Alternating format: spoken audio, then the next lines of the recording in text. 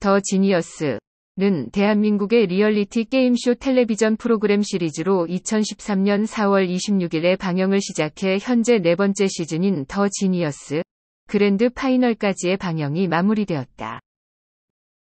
시즌 1 더 지니어스 게임의 법칙에서는 홍진호가 시즌 2 더 지니어스 룰 브레이커에서는 이상민이 시즌 3 더 지니어스 블랙가넷과 시즌 4 더 지니어스 그랜드 파이널에서는 장동민이 우승을 차지하였다. 더 지니어스는 각 시즌마다 총 12화로 구성되며 제작진이 섭외하거나 일반인 면접을 통해 뽑힌 13명의 출연진들이 각 화마다 주어진 게임을 벌여 한 명씩 탈락해 마지막까지 살아남는 사람이 최종 우승하는 게임 리얼리티 방송 프로그램이다.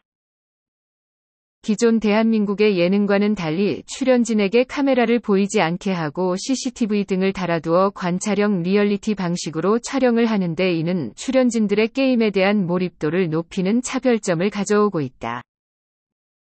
본 프로그램과 별도로 스피노프 프로그램인 눈치왕 2015년 1월 파일럿 방송을 한 적이 있었다.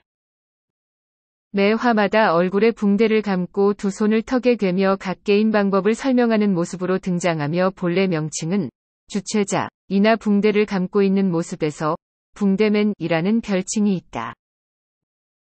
더 지니어스의 상징과 같은 존재로 카메라 밖에서 도전자들의 일거수일투족을 관찰하는 존재로 그려지며 더 지니어스의 긴장감을 더하는 요소로 여겨진다. 부유한 집안에서 살았었으나 사고로 가족을 모두 잃고 얼굴이 온통 흉터로 남아 붕대를 감고 있으며 그 후 세상을 등지게 됐다는 설정이 있다. 실제로는 더 지니어스 정종현 PD가 밝히길 더 지니어스의 조연출이 분장하고 목소리는 아마추어 연극배우가 담당한 것으로 한 번 돌려서 촬영한 것을 여러 번 쓰고 있는 것이라고 한다. 손을 턱에 괴고 있는 모습은 신세기 에반게리온의 이카리 겐도가 손을 괴고 있는 모습을 오마주한 것이다. 당시 조연출은 현재 더 지니어스에서 하차한 상태이며 지금 조연출은 다른 사람이다. 더 지니어스에 등장하는 보조는 3명 등장하며 모두 현직 강원랜드, 세븐럭의 딜러이다. 게임을 진행하며 게임에 관한 규칙에 질문이 있을 때 대답해주는 사람으로 등장한다. 메인 매치와 데스매치를 치러 데스매치에서 탈락하며 맨 마지막 화까지 살아남은 사람이 최종 우승하며 상금을 가져간다. 메인 매치는 각 화마다 다른 게임으로 구성되며 메인 매치의 최하위자는 메인 매치의 우승자와 우승자가 지목한 출연자를 제외한 나머지 출연자 중 자신과 데스매치를 치를 출연자를 지목하여 이 매치에서 패배한 사람은 최종 탈락하게 된다. 각 시즌마다 데스매치를 면제받을 수 있는 규칙도 있는데 시즌 2에서는 세트장에 숨겨져 있는 불멸의 징표를 찾아 사용할 경우 자신을 대신해 데스매치에 갈 사람을 지목할 수 있고 시즌 3의 경우 데스매치에서 승리해 살아남거나 메인 매치에서 지정하는 규칙에 따라 블랙가넷을 3개 모으면 데스매치에 지목받을 때 블랙 미션을 할 수가 있는데 이 블랙 미션을 성공하면 자신을 대신해 데스매치에 갈 사람을 지목할 수 있는 규칙이 있었다. 최종 상금은 하나당 100만원으로 환산되는 가넷으로 결정되는데 이 또한 각 화의 메인 매치에서 지정되는 규칙에 따라 모을 수 있으며 결승전까지 살아남은 두 명이 가넷의 총 합계가 최종 상금이 된다. 시즌4에서는 TOP3 위 가넷의 총합이 상금이 되었다. 이 부분의 본문은 더 지니어스 게임의 법칙입니다. 이 부분의 본문은 더 지니어스 룰 브레이커입니다. 이 부분의 본문은 더 지니어스, 블랙가넷입니다. 이 부분의 본문은 더 지니어스, 그랜드 파이널입니다.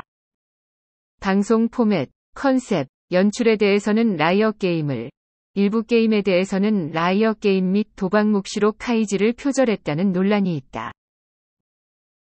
더 지니어스 제작진 측은 포맷에 대해서는 장르의 유사성이며 도박 묵시록 카이지 게임에 대해서는 변형을 하였을 뿐 표절이 아니다라는 입장을 밝혔다.